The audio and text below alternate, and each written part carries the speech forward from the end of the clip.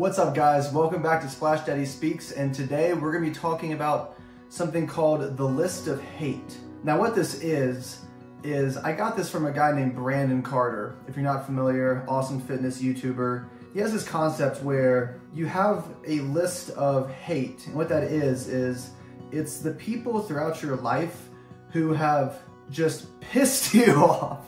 And it's the people who have kind of put negative thoughts about yourself in your mind and who maybe doubted your potential and who told you what you could or could not achieve. And it's not just who they are, but the specific things they said. If you're honest with yourself, you all know specific people, and on top of that, specific things they have said that have just stuck with you for years and years and just you can feel your blood boiling whenever you think about these moments with them, right?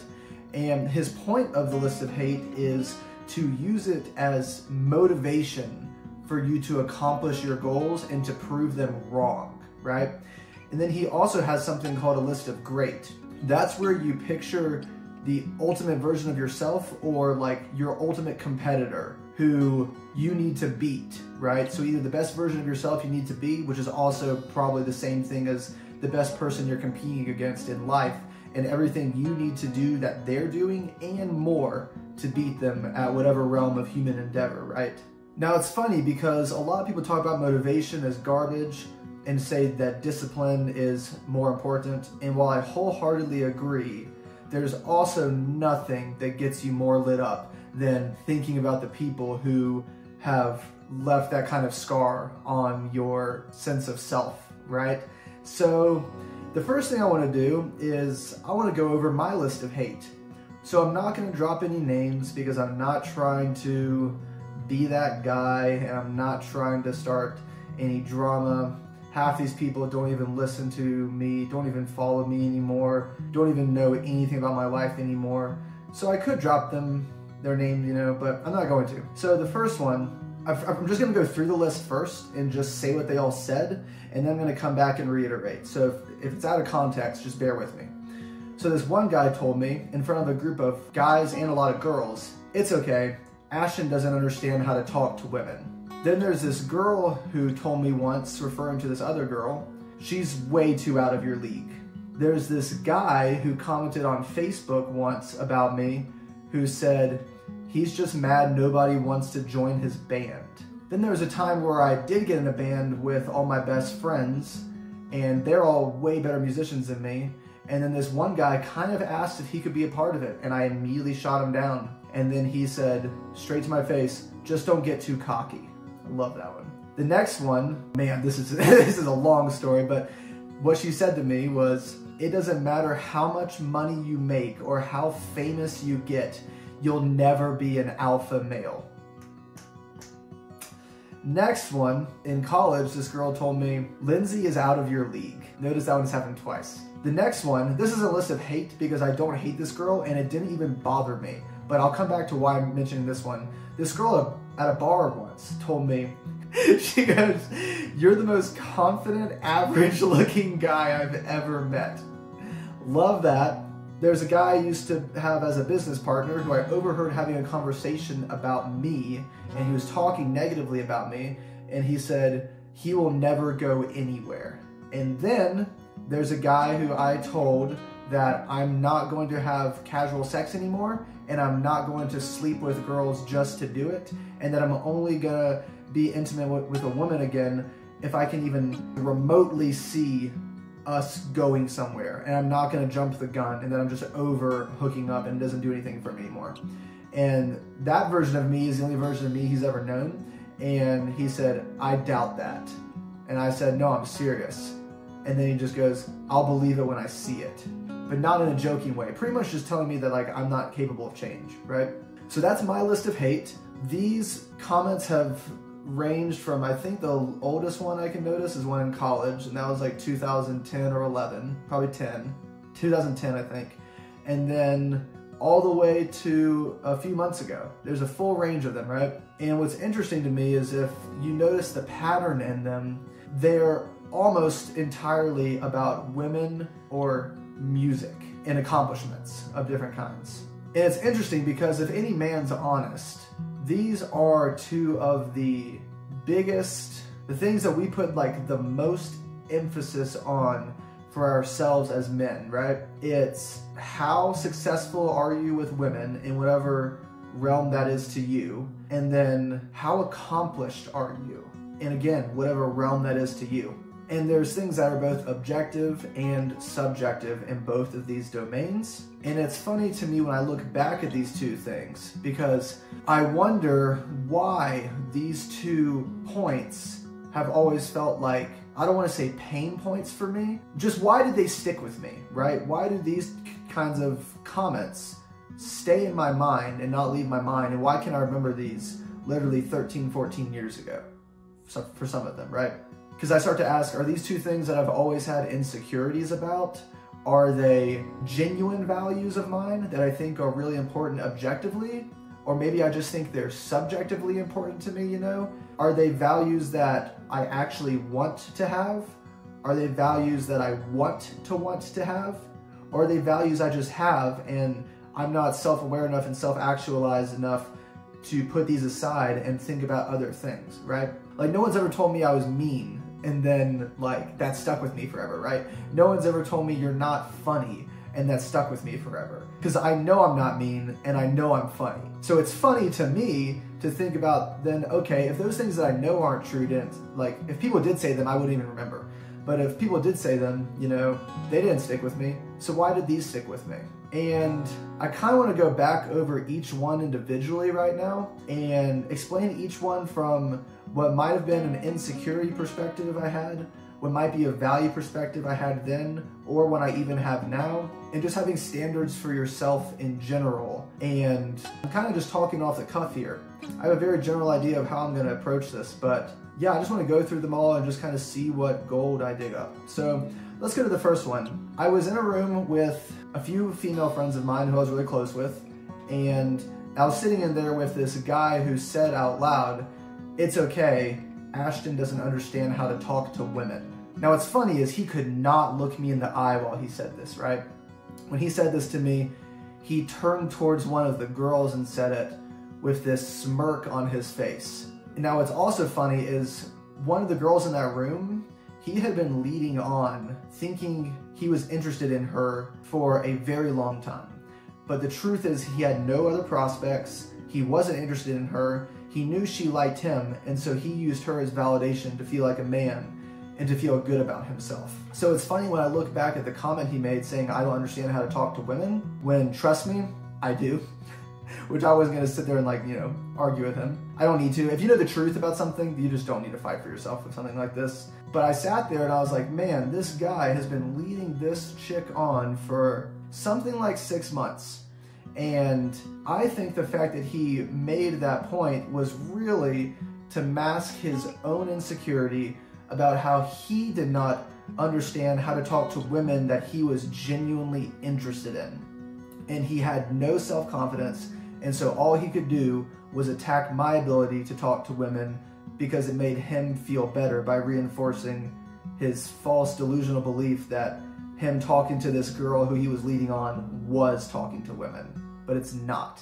Anyone can go talk to some girl that they have zero interest in and be completely themselves. But it takes a man with balls and courage to be able to go talk to a woman he's very interested in and risk the actual rejection. So, does it kind of stick with me because of maybe like being bad with girls in high school or something? Yeah, kind of. But also, the more I think about it and talk out loud, the more I realize that it stuck with me because there is that portion, but there's also the portion of understanding most people's insults towards you are just a reflection of themselves and just trying to tear down your building to make theirs taller, which is what he was doing. Let's go to the next one. This one does hit home a little more. It's when I talked to a female friend of mine about this girl who I'd seen her walking downtown with. I drove past and I texted her and I was like, Who the heck was that? She's beautiful, hook me up. Doesn't say anything positive, only texts me back, She's way too out of your league. And if you remember my first video, you'll remember me talking about the fact that the moment someone tells me or the world tells me no or tells me I can't have something I want, my immediate first thought is, fuck you, give it to me. Right? And I think when I saw that girl, I couldn't pull over. I was in the middle of downtown Austin. But like, I would have approached her. I tried to reach out to a close friend saying, hey, I've never seen her before. I didn't even know you were friends with this girl. Introduce me. Being told she's out of my league, all I felt was and heard was, she's too good for you. You are not enough. And almost in a way, like, because there was no niceness involved in the text, almost, how dare you think you could have her? Who do you think you are, like, little man? Like, go back in your cave, you cretin, right? And it's funny because every man knows the quality of woman he really wants in a partner. And I think most men settle and most men don't ever try to get the partner. This isn't just about looks, right? This is about so many different things. But I think the, the female that I was friends with, nowhere near as attractive as her friend. Objectively. This is not a subjective opinion. No guy would look at her and think that she was more attractive than the friend. It was levels above, right? And I was like, you know, by her being with her, she rejected me for her friend. She didn't even introduce me to her friend. She rejected me as if she was her friend rejecting me. And I was like, you know, the more I think about knowing this female that I'm friends with, she's pretty insecure. Like, I know some things she said, I've never forgotten some things she said. And it's funny because then it's like, oh, wait, she wants to feel that hot. She wants to have guys text her female friends about herself saying, hey, can you introduce me to her? And it probably doesn't happen that much. Definitely not as much as this girl, promise you. And I bet you anything that like the insecurity is, wow, no guy approaches me that way via text through my friends. If I like shoot him down on behalf of her, then it's basically like I was the one getting asked out, right? And so it's just funny. Again, it hints at that man side of like, you're not good enough, become more. But also you look at the crap that's going on in other person's life and realize, oh, this is coming from lack in them, not lack in me. Because I've been with and dated girls as attractive as this girl. So I know it's not a lack of me. But it's it still stings. You can take that manly like pride sting, like, ugh, am I not good enough? Uh, like, don't don't look at me. you know what I mean? But like, yeah, you can just really start to see the light in others and the darkness in others too. Let's go to the next one. I made a politically incorrect comment online, which I never do. My first and only time ever. Will never do it again. And totally unrelated. And this, I've been trying to get a few people to join a band with me back in 2020, 19, 19 and 2020, right? And this guy commented on it, totally unrelated to anything about my political comment comments he's just mad nobody wants to join his band because nobody had joined my band. And it's funny because it comes out of insecurity again with me being like, I really value myself as a drummer and I know I'm not as good as I could be or should be, but I'm, i also know I'm way better than I used to be. So it stabs at the, oh God, like, am I not good enough? Right? Am I not accomplished enough? Am I not skillful enough? But then also, this guy, I'm totally, anyone who's listening who knows me is just gonna know who this guy is, but also fuck him, because you suck, dude. This guy tried doing his own music with his own band. It went nowhere, and all he's managed to do, even remotely successful as a musician, is be the backup guitar player for his brother-in-law's band. And that's all he does, and he all he can do is ride his coattails. When I think about, wait, that's his career holy crap, the whole nobody wants to join his band. It's like, no, dude, nobody wanted to listen to your band. Nobody believed in your music enough to be like, he is a leader, he's going somewhere, he's a producer, he's a composer, he's a great songwriter, he's better than his brother-in-law.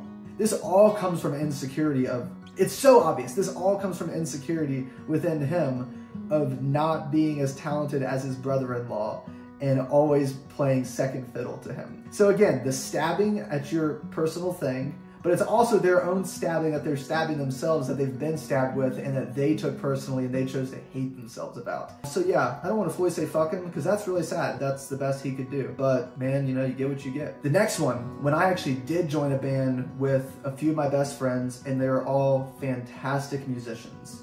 And I truly believe, they told me that like I'm just as good as them. I'm not you guys are too nice to me. I know I was the worst in the band. I know I was. And I was good enough to play with them, but I think I was just over the line good enough while they were still miles and leagues ahead of me at their own instruments. And then one of them being a guitar player who's fantastic, and this other guy who played guitar found out that I had started the group and the band and I was going to record an album and approached me to play guitar on it. And I immediately just told him, no, I've already got him. Uh, thanks though, because I didn't know what else to say. I was just like, no, like I'm good. I wasn't trying to be, you know, hurtful or harmful or anything. And then his immediate response was, just don't get too cocky first thing out of his mouth and then he turned and walked away. And it's like, he was levels beneath me, to be honest. And I realize it's because he has nothing to be cocky about. You know, I'm kind of cocky. Like, I definitely have things where I know I'm the shit and I would rather verbalize it than be humble. And I think you should. You should never talk down about yourself. The brain doesn't know the difference, right? The brain doesn't know the difference between like true negative self-talk and other people telling you negative things about yourself. You're your own worst critic. You're either the number one thing that's going to hold yourself back or you're the number one thing that's going to push yourself forward. It is you. You are the biggest factor. You have the biggest percentage of the weight you carry for your own future. And this guy just did not believe in himself. He had never truly practiced and he told me not to get cocky, but it's really because he knew that he didn't deserve to be in the group. And if he could attack my pride, then it would protect his. Next one. God, this one is such a long story. I'm going to try to condense it. It's the girl who said, It doesn't matter how much money you make or how famous you get, you'll never be an alpha male. that term is just thrown around, just, man, way too much. So, this is a girl who was so insecure, told me constantly she was insecure, told me constantly she knew she was stupid, which is sad. But I mean, I mean, she wasn't like the brightest, you know. She knew she wasn't that smart. She valued her creativity and her creative side, but like, and she was decent at some things on her creative side, but a lot of it was just not that good. And she was watching me be fairly successful at creative things, and she saw me dedicating myself to work constantly, every day, hours a day, hours a day. First thing when I woke up, last thing before I go to bed and she would invite me to come hang out with her and our group of friends and I would just say, no, I have to do this. No, I'm working on this. No, I'm working on this.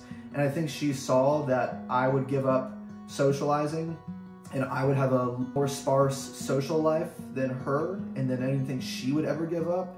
And she valued her social life more than her own success and ambition. I think she knew that I was going to make a lot of money one day. And she knew that I was going to be famous one day. And I think it just drove her crazy knowing that she didn't have what it took to make sacrifices, but I did. And it's very funny because the final comment, you'll never be an alpha male part. She knew that that was a weak point in me. That's in most men where you do want to be seen as like a leader and strong and capable and intelligent. And I think she knew I would make a lot of money and become famous.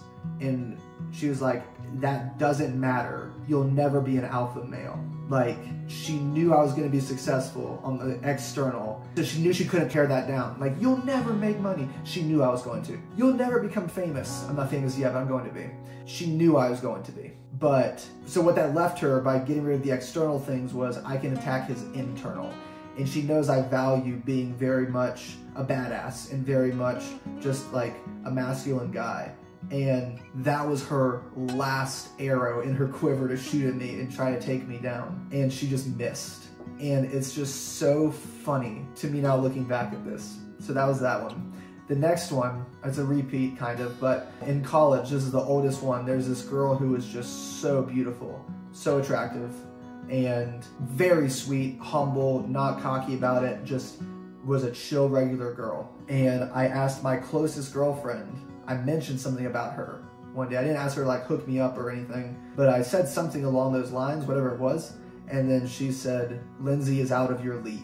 And it's like, it's funny. It's like, well, what do you think about me? I had just known her for like six months. It's like, you don't really know someone until you know them for years. So who are you to say that? You're wrong. And I think it's the same thing as the other girl where my female friend was attractive, but again, this girl is just like levels above her objectively. Like no like no one can argue. And yeah, I think it was her feeling of like, oh, I'll shoot him down for her because then that means that I am that attractive. So whenever a girl tells you some other girl's out of your league, just don't fucking listen. Unless you're actually a piece of shit and you suck and you have no personality, which you probably already know is true, then listen and go change that. One, the girl at the bar who said, you're the most confident, average looking guy I've ever met. This really doesn't belong on my list of hate per se. I keep it here because it's funny to me because this girl is again extremely attractive.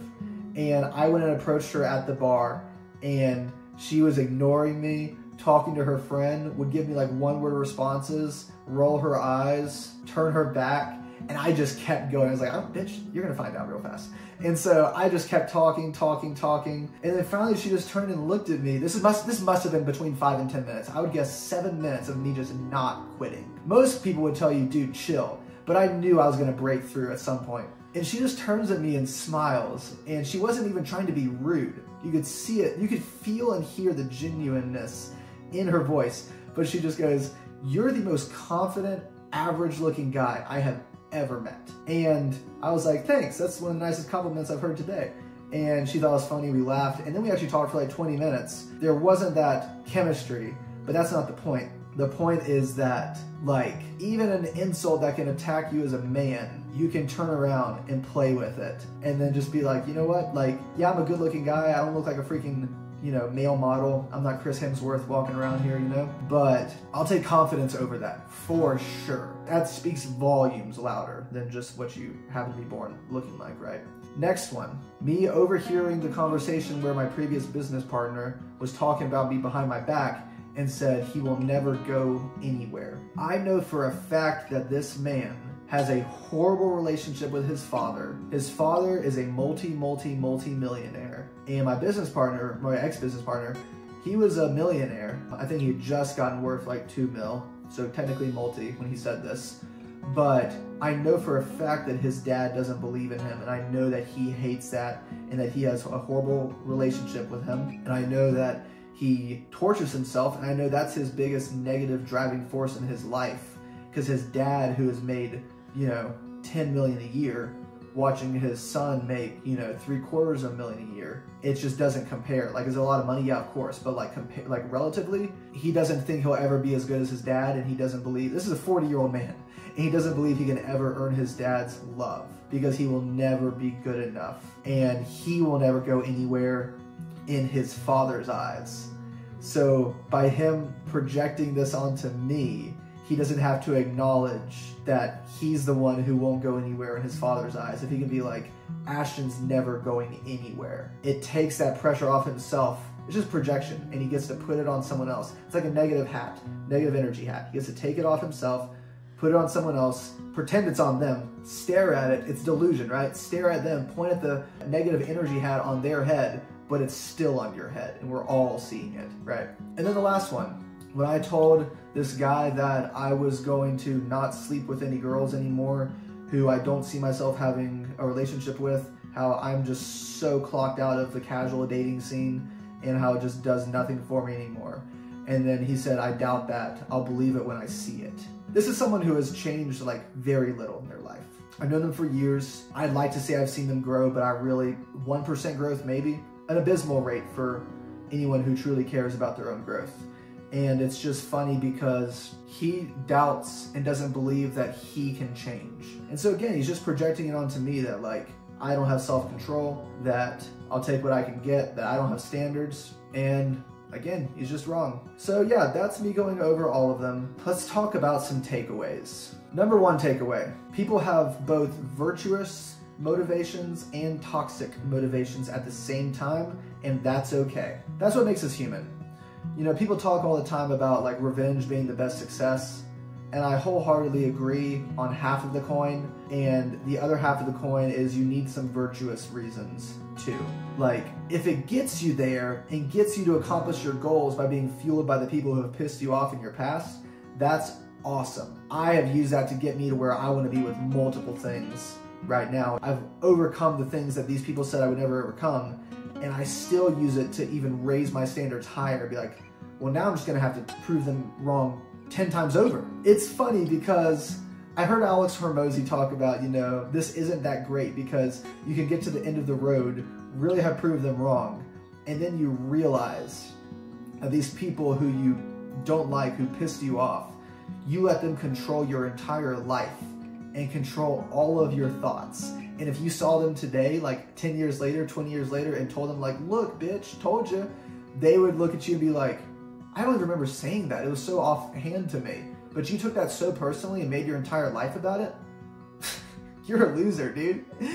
You know what I mean? Even if you've accomplished much greater things than them. So that's why I think it's very important to be self aware about what your motivations are and are they driving you forward because you genuinely care about the things they said or because you don't care? Like if someone talked shit to me and was like, Ashton's awful at ice skating. Yeah, I fall every time. Like I'm not good. Like whatever. So like I would never take that personally. But you know, someone comes to me and says like, he's not a good drummer or, you know, the girl he wants is out of his league, then it's like, mm, I'm gonna have to prove you wrong now. So it comes from the good and the bad. It comes from the good of like, I care to be good these things. I think it's important to not lower your standards for who you date. I think it's important not to lower your standards for how high of goals you try to achieve, right? And both of these things are true. And the other side of that coin is like the insecurity side. It's like, did I used to think I was a terrible drummer? Yeah. Did I used to be really bad with girls? Yeah. But you can use both sides of this coin, right? You can use the revengeful side of the bad side of like, screw you for poking at like slight insecurities, which are really just your own insecurities, but also my insecurities. Watch me push myself forward now to prove you wrong tenfold. But then you can also have your virtuous motivations of, like, my biggest virtuous motivation as of late is I want to be proud of myself. Like, I look at the things that I am proud of the things I'm not proud of. I've dropped all the things I'm not proud of anymore and I've put all that time and energy into doing new things where it's like I would be so damn proud of myself if I accomplished this, this, this, and this, right? Another one is like my parents have done so much for me. I owe it to them to accomplish great things because of everything they've put me through or you know done for me. You know what I mean? My ancestors who like fought off the bubonic plague and killed each other during the Civil War, my grandfathers who killed people during World War II. Like they did all of this for their future children's children. You know, that's me. So for me to not, you know, go do this for them is like a slap in the face. It's shitting on their graves, which I don't want to do. So those are your virtuous things and your kind of toxic things. You literally need both, is what I'm saying. There's a study showing that mice, when they are hungry and go to find cheese, they will run, let's just say, five times faster if they have something positive to run towards, right? Like, oh, cheese, food, good. Let's go get that good reward. Boom. But if they are sensing the cheese and they have the sense that there's a cat behind them chasing them to eat them and kill them, they run 10 times faster. And so the negative stuff will 1000% motivate you harder than the positive. People who act like, I just want to be a good person, I should change the world, I have no insecurities, I just want to do it all for the good of others. They're slime balls. Don't trust them. Trust the person who tells you, yeah, and I also want to prove, these are not the people, I also want to prove Todd, Daryl, and Rebecca wrong. Trust that person. That person's not lying to you. And definitely trust and befriend the person who tells you both. You know, here's the eight people who pissed me off when I was younger. I'm going to prove them all wrong. Oh, also, I want to fulfill my own potential to be proud of myself. Trust that person. Trust me, guys. So, yeah, I think it's fine to use this fire as fuel. And the number two takeaway is use this, but don't abuse this. This is where, when you're looking at the negative sides, you can use it to your advantage, but you don't want to abuse yourself in thinking about the negatives, right? So, like with the insecurity about women, is it these are areas that I lacked? Is it these are areas that I still lack? You know, do I genuinely think these things are important and worth striving for? If I didn't have these experiences, would I even be motivated to do anything? Like, if you've had no negative experiences in your life, would you be motivated to do anything?